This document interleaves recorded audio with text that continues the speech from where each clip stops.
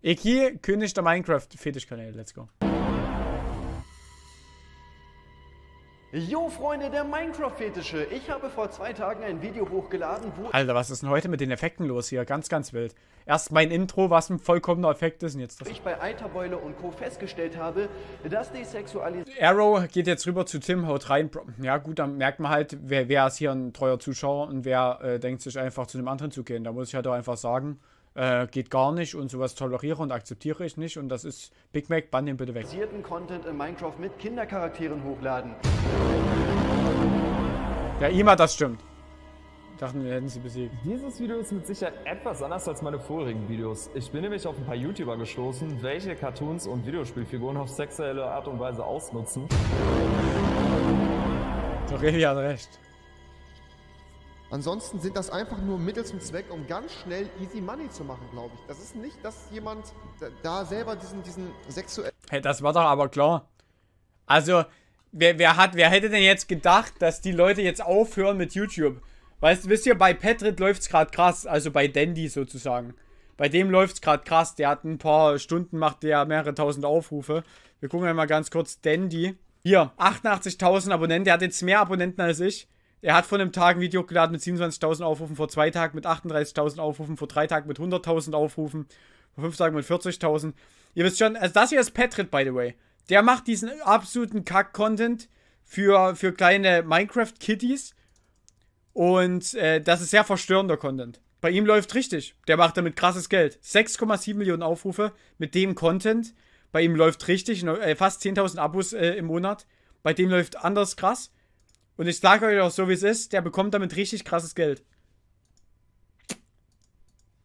Und sowas funktioniert. Äh, PC, Ehre. ist oft so, dass die Personen sich einfach denken, yo, das ist jetzt easy Content, weil pubertierende, frühreife Kids darauf tatsächlich an, anspringen. Das sind easy Klicks, die nice monetarisiert sind. Ich gönn mir die Kohle rein. Ich glaube, das ist alles.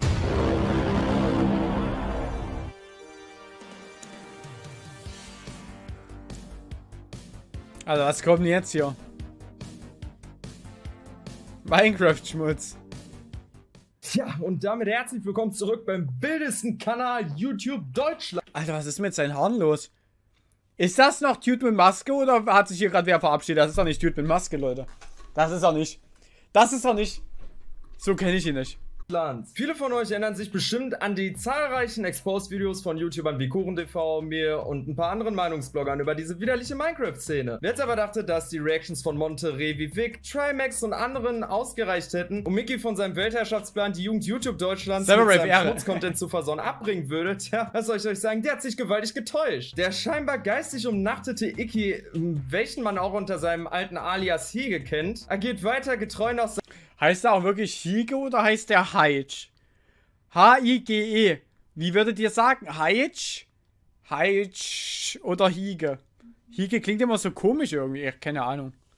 Hige, Heitsch. seinem Ach, alten Motto, heute wieder rein in die Kim Possible, gar kein Bock. Ich dachte mir bei einer weiteren Durchsicht von seinem Schmutzcontent, dass ich da komplett reinhalten muss, bis sich da mal etwas ändert. Und nein, Hike, Revi, okay. es ist nicht in Ordnung, so einen Müll auf YouTube zu bringen, nur um damit Kohle zu verdienen. Das ist absolut nicht in Ordnung. Mir persönlich reicht es an der Stelle auch gar nicht, dass nur seine Partnerschaft mit 3D Supply im Endeffekt gecancelt wurde, nachdem KuchenTV und ich darauf aufmerksam gemacht haben. Ich persönlich werde nicht aufhören, Videos über solche Themen zu bringen, bis dieser Typ und auch andere vergleichbare Creator aufhören, Kinder mit ihrem ekelhaften Content zu belästigen und zu versauen. Ich bin tatsächlich Oh, nee. komplett vom Glauben abgefallen, als ich mir nochmal den Kanal von ihm angeschaut habe. Bei Danny zumindest hat sich einiges geändert und er bringt nur noch irgendwelchen komischen Horror-Content in Verbindung mit Minecraft. Das ist Ja, jetzt okay. vielleicht auch nicht so unbedingt der Aber es ist immer, ich muss trotzdem sagen, ihr müsst euch mal vorstellen, da, da macht jemand Content für Kinder und dieser Content ist so fucking verstörend, da tut mir alles weh. Ich, ich, ich verstehe es einfach nicht. Ich verstehe es einfach. Also ich check das nicht, wie man das übers Herz bringen kann, wenn man weiß, ja, wir gucken eigentlich nur so fünfjährige Kitties zu. Und ich mache aber Content, wo schon auf dem Thumbnail irgendeine Leiche ist. Das ist doch krank. Michi, ich grüße dich. geilste. Content, aber Icky, der hält einfach weiter rein in diesen sexualisierten Kinder-Content. Bevor wir jetzt an dieser Stelle komplett in die Slots gehen, muss ich euch mal etwas erzählen, was mir dabei aber direkt aufgefallen ist. Der Typ blendet seit Monaten einfach immer und immer wieder dieselben Kommentare am Anfang vom Video ein. Dabei sagt er doch jedes Mal, man soll bei ihm fleißig kommentieren, damit man die Alter, der hat es einfach wahrscheinlich als Introsatz genommen, so mit den Kommentaren. Das ist ja echt lustig. Chance hat, bei ihm doch erwähnt zu werden. Da dachte ich mir dann doch direkt so, wie scheißegal kann dann bitte die eigene Community sein, wenn man sogar zu faul ist, einfach mal die Kommentare Ey, Leute, ich muss aber ein was sagen, so. Ich habe gar kein Problem, wenn man sich die Fingernägel lackiert, so. Aber ich bitte dich. Wie kann man es denn ja übers Herz bringen, diesen einen Nagel Gold zu lackieren? Was Wie ist mit dem los? What the fuck? wa- Warum hat der da nicht alles gleich gemacht? Ich bin so einer, ich brauch's symmetrisch. kann dann bitte die eigene Community Achsen sein, wenn man symmetrisch, sogar Leute. Hey, guckt euch das doch mal an. Das hier ist einfach Gold. Was ist mit ihm los? Warum nicht alles äh, gegen die Farbe alle oder wie? Der will mich komplett verarschen. Ich glaube, der will mich gerade komplett verarschen, ja. Faul ist, einfach mal die Kommentare zu ändern. Und das absolut Beste dabei ist, dass sein Zuschauern das doch nicht mal auffällt, dass er das nicht macht. Alter, das ist wirklich maximal lost. Aber gehen wir doch endlich mal in sein legendäres Thumbnail-Game rein. Ich trolle Ikeline unsichtbar in Minecraft. Okay, wir machen jetzt Babys in Minecraft. Ikeline wünscht sich Babys mit mir in Minecraft. Ah. Freundin erwischt Zuschauerin und mich in Minecraft. Ich weiß halt nicht, wie oft du vom Wickeltisch gefallen bist, aber deine Zuschauerschaft ist doch mit Sicherheit so im Schnitt so circa 8 bis 12 Jahre alt. Und du willst dich mit einem von deinen Zuschauerinnen treffen? Aber bevor ich dann jetzt letztendlich ein vernichtendes Urteil über dieses Individuum fälle, muss ich doch erstmal noch ins Video reinschauen. Also, let's go. Das ist eine Zuschauerin von dir, Iki. Die guckt deine Videos. Jetzt mal ganz ehrlich, es gibt wirklich Menschen, die sich das geben können. Also diese, also Kinder, die, die das cool finden. Diese, diese verkackte Stimme hier. Das ist, das tut so weh. Es, es tut wirklich so weh. Da muss ich komplett los. und findet dich toll. Ist doch Nein. super. Triff dich doch mit ihr. Spinnst du? Wenn das Prinzessin Peach erfährt, die reißt mir den Kopf ab. Das können wir doch nicht machen. Ihr habt auch in die Kommentare geschrieben, dass ihr das cool findet, dass ich mit einer Zuschauerin Tobi, ja. mich treffe. Und ihr findet auch, dass sie sehr hübsch ist und dass sie meine Freundin sein soll. Aber Peach ist schon meine Freundin. Ich weiß nicht, was ich machen soll, Leute. Ah ja, ist mir schon klar, dass das gerade alles in Minecraft passiert ist. Aber zum Teufel noch mal der Typ, der ist einfach Mitte 20 und stage da ein Date mit einer Zuschauerin von ihm, die minderjährig ist. Ich gebe euch noch einen kleinen Spoiler an dieser Stelle. Natürlich ist das Ganze geschauspielert, aber dass dieser Typ Icky überhaupt daran denkt, so etwas nachzustellen, lässt mich wirklich erschaudern, um ehrlich zu sein. Das Ganze wird aber erst richtig witzig, wenn wir dann diese nachgestellte, geschauspielerte Zuschauerin sehen. Da vorne. Ey! Warum versteckst du dich vor mir? Hallo, Iki. Oh, ich, ich bin so aufgeregt, dich zu Wollen wir wetten, das ist er selber? Er redet gerade selber. Nur halt mit einer anderen, also nur mit einer anderen aufgesetzten Stimme. Leute, wir machen es jetzt so, alle Non-Subs. Theoretisch könnte man es immer machen. Alle Non-Subs sind Icky-Fans. Sind bestimmt alles Icky-Fans, denk schon.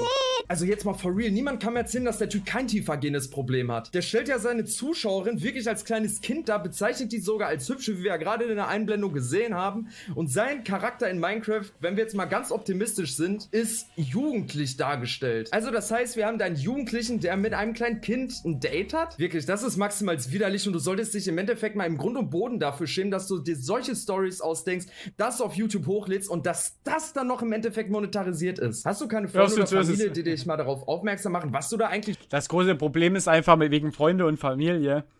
Ähm, die meisten wissen nicht, dass er das ist.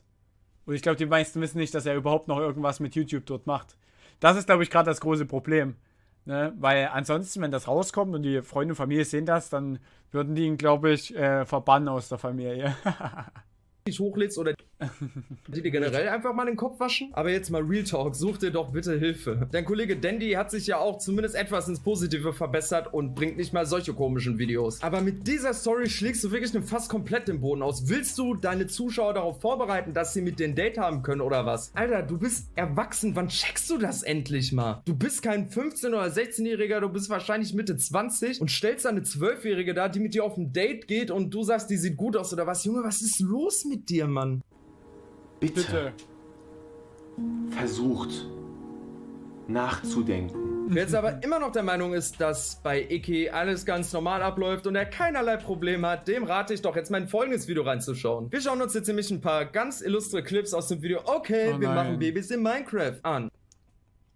Achtung. Achtung, Gefahr, jetzt wird's ganz, ganz gruselig wieder. Supreme Pyro, vielen Dank für den Follow, Bruder. Was folgt, sind Clips dieses Doch, kinderfreundlichen ich muss was essen. Leute. Nicht. Hallo, wer ist da? Iki, ich bin's, Ikiline. Ich bin gerade arbeiten und heute Abend machen wir Babys. Ich möchte eine Familie haben. Das haben sich auch Das ist ja die wie Loredana. gewünscht. Heute Abend ist mein Date mit Ekeline und dann wollen sie eine Familie mit mir gründen. Aber wie macht man denn Babys, Leute? Wisst ihr, wie das geht? Hm. Ich hab mal gehört, dass der große Storch die Babys bringt, ja? Und zwar in einem Beutelchen. Ob das stimmt, weiß ich nicht. So, und was ich jetzt mache, Leute, jetzt gehe ich in die Schule und frage die Mädels, wie man eine Familie macht. Oh oh, Ikeline ist hoffentlich nicht in der Schule. Nee, die ist arbeiten im Krankenhaus. Okay, wir beeilen uns und danach machen wir heute Abend Babys. Ich möchte im Unterricht mitmachen und erklären. Hä? Der sagt gerade selber, ich glaube, dass der Storch die Babys bringt. Und dann sagt er, wir gehen jetzt und wir machen Babys. Wir wollen ja Babys machen, wenn der Storch die Babys bringt. Ich esse lieber weiter. Ich, ich sollte einfach aufhören Er zu mir, reden. wie man Babys macht. Ach, kleiner Mann. Wie man Babys macht, willst du wissen? Von einer Schnecke? Das kann ich dir doch nicht beantworten. Du bist ein Mensch. Iki, wieso willst du denn Babys? Du bist, du bist doch kein Familienvater. Ja, was ist denn los mit dir? Leute, Ikeline und ich, wir wollen eine Familie gründen. Ich muss halt einfach sagen, dass ich persönlich komplett die Schnauze voll von dieser Art von Content habe. Das Schlimme dabei ist, dass er von niemand wirklich Ja, niemand Dude, Dude, ja, in danach, irgendeiner ja. Art und Weise dafür abgestraft wird. YouTube macht nichts, befreundete Creator machen nichts, es passiert einfach gar nichts. Ich vergesse aber natürlich nicht, dass die ganzen Reactions, die auf das ursprüngliche Video gemacht wurden, nicht wichtig sind. Das ist auf jeden Fall wichtig, um Leute darauf aufmerksam Also, da tut mir alles weh. Wirklich. Mir tut original alles weh. Wenn ich sowas, wenn ich mir sowas reinziehen muss. Und dann gibt es wirklich Menschen, die gucken sich das freiwillig an.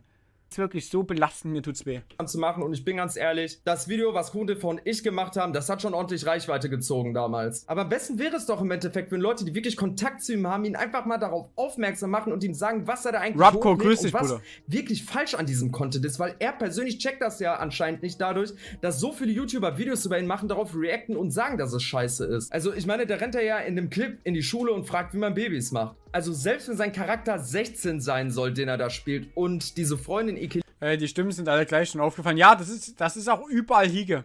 Überall. Also es ist bei jedem Charakter, den er gesprochen hat, das ist alles Hige gewesen. Das hat man auch gehört.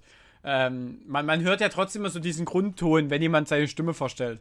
Und das hat man bei ihm eigentlich relativ gut mitbekommen. Also Lost. Helene aus 16 sein soll, finde ich nicht, dass man sowas Kindern zeigen sollte, weil es sind eben Kinder, die auf solche Videos Punch, grüß dich. Er flirtet ja auch dann noch mit diesem Kindercharakter aus dem ersten Video und stellt das als absolut okay dar. Ich meine, er stellt ja auch zudem noch dar, wie er auf dieses Date mit seiner minderjährigen, wahrscheinlich minderjährigen Zuschauerin geht und das ist für ihn dann absolut in Ordnung. Bin ich da wirklich der Einzige, der das so extremst gruselig und abstoßend findet? Ich persönlich finde es extrem schade, dass die Gamescom dieses Jahr nicht stattfindet, weil ich hätte ihn Ja. gerne mal persönlich gefragt und zur Rede gestellt, was da genau eigentlich beim abgeht, weil ich finde nicht, dass Wenn der überhaupt mit dorthin kommt. Die Leute, die wissen doch gar nicht, wie der aussieht.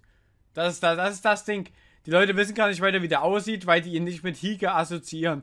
Ähm, wenn überhaupt Hige hingehen würde. Ich glaube, das wäre ihm dann auch teilweise zu peinlich. Ich, keine Ahnung, also die Gamescom, ich persönlich äh, finde es halt schade, dass es nicht stattfindet, einfach weil wir uns so alle zusammen getroffen hätten. Also ich meine, wir werden uns auch so wahrscheinlich treffen. Ich hoffe mal, es funktioniert auch alles. Aber ja, es wäre halt cool gewesen. Eine Gamescom ist immer noch mal so eine so ein Ort, wo man halt sich auch mal treffen kann, was halt echt nice ist. dass das okay ist und ich hätte ihm zumindest ein paar Worte dagelassen, die mir erzählt, was an dieser Art von Content nicht Das ist Ordnung sogar ist nice. dass er das sein lassen sollte. Es gibt doch wirklich Millionen anderer Wege, wie man mit Minecraft-Content schnell Geld verdienen kann. Vor allem gerade, wenn man schon diese Reichweite hat. Ja, aber wenn ihr jetzt am Ende dachtet, dass dies der einzige Minecraft-Kanal ist, den ich mir in den nächsten Tagen und Wochen vornehmen werde, dann wartet doch mal bitte auf Mein Teil Bruder, zwei. grüß dich. Oh, es gibt noch einen Teil 2. Ich bin auf jeden Fall gespannt. Ich muss sagen, es ist ein gutes Video gewesen. Hat mir Spaß gemacht, hat mich unterhalten, aber es ist halt einfach nur mega traurig. Es ist wirklich mega traurig.